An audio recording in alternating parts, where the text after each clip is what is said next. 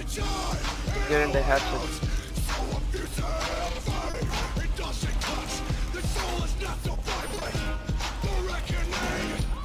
Op 4 drone located the biohazard container.